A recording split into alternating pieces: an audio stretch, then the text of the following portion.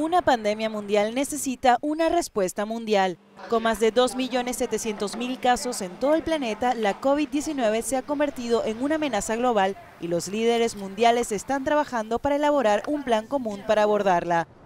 La OMS, junto con varios gobiernos e instituciones internacionales y actores de la salud, están lanzando ACT, una colaboración para acelerar el desarrollo, la producción y el acceso equitativo a los diagnósticos, tratamientos y vacunas contra el virus.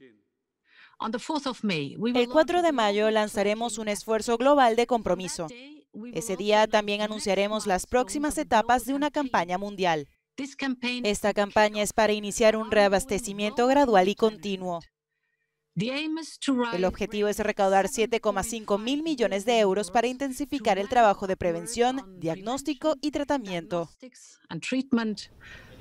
Una de las claves de esta iniciativa es que los resultados y avances deben ser accesibles no solo para los países más desarrollados, sino para todos. No se necesita una vacuna y tratamientos para un país, una región o la mitad del mundo, sino una vacuna y un tratamiento que sean asequibles, seguros, eficaces y fáciles de administrar y que estén universalmente disponibles para todos y en todas partes. Esta enorme tarea necesitará una cooperación mundial probablemente nunca antes vista, incluyendo países que hoy en día no están en los mejores términos diplomáticos.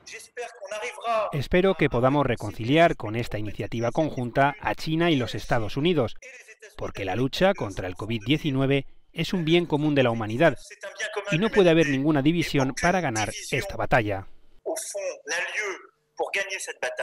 El impacto económico de la pandemia será otra batalla. El FMI junto con la Organización Mundial del Comercio ha pedido a los países que reduzcan las restricciones comerciales para reiniciar la economía mundial lo antes posible.